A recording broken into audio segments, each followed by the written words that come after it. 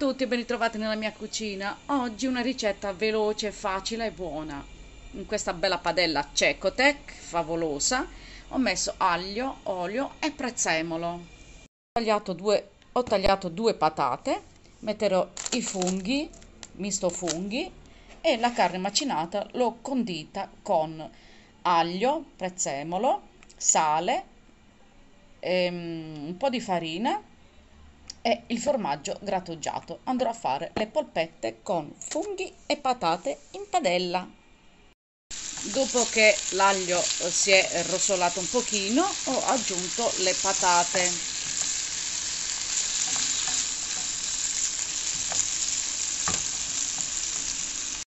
Subito dopo ho aggiunto i funghi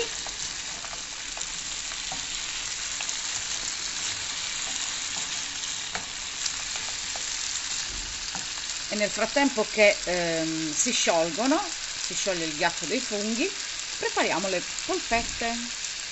In questa ciotolina ho messo un po' di farina e adesso faccio la polpetta, la infarino e la metto sul piatto.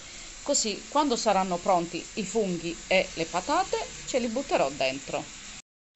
Ho aggiunto due bei bicchieri di acqua e adesso nel frattempo che esce a bollore li vado a lo vado a salare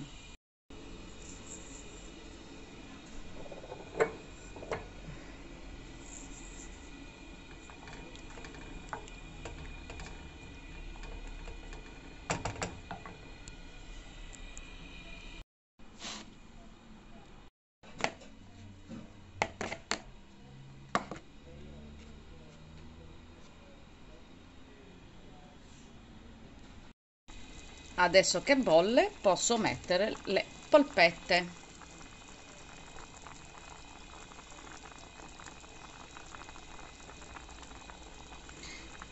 Sì le ho infarinate perché dopo il sughino deve risultare come una cremina.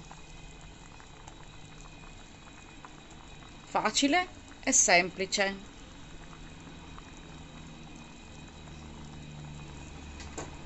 Ah, nella carne macinata ho dimenticato che, di dire che ho messo anche un uovo. E voilà. Adesso metto il coperchio e faccio cucinare, faccio rapprendere prima le polpette e dopo le posso girare con il cucchiaio.